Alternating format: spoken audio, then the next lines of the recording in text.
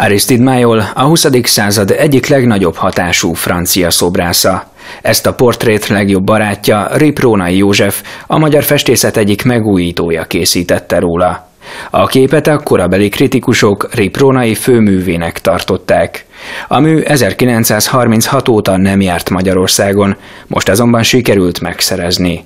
A Nemzeti Galéria új kiállításán látható, amely Riprónai és Majol különleges barátságát mutatja be. Két festői életművet mutatunk be elsősorban ebben a kiállításban, és tulajdonképpen már az ő ö, elszakadásukat, hogy ilyen drámaian fogalmazzak, követően az 1900-es évek után lett végül Májolból szobrász, az a nagy szobrász, akit ma ismerünk.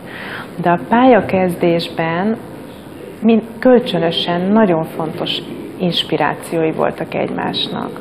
A kiállításon mintegy 250 műre megmutatja be a művészek pályafutását. A két művész pályája elején a képzőművészet több területén is kipróbálta magát.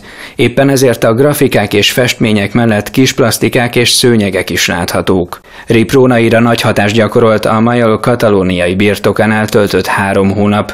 A látogatás jelentős változást indított el a művész festészetében. A korábbinál jóval élénkebb színeket kezdett el használni. A Nemzeti Galéria kiállítását több mint 7 évnyi előkészítés előzte meg, az április elejéig látogatható tárlatot már közel tízezre látták.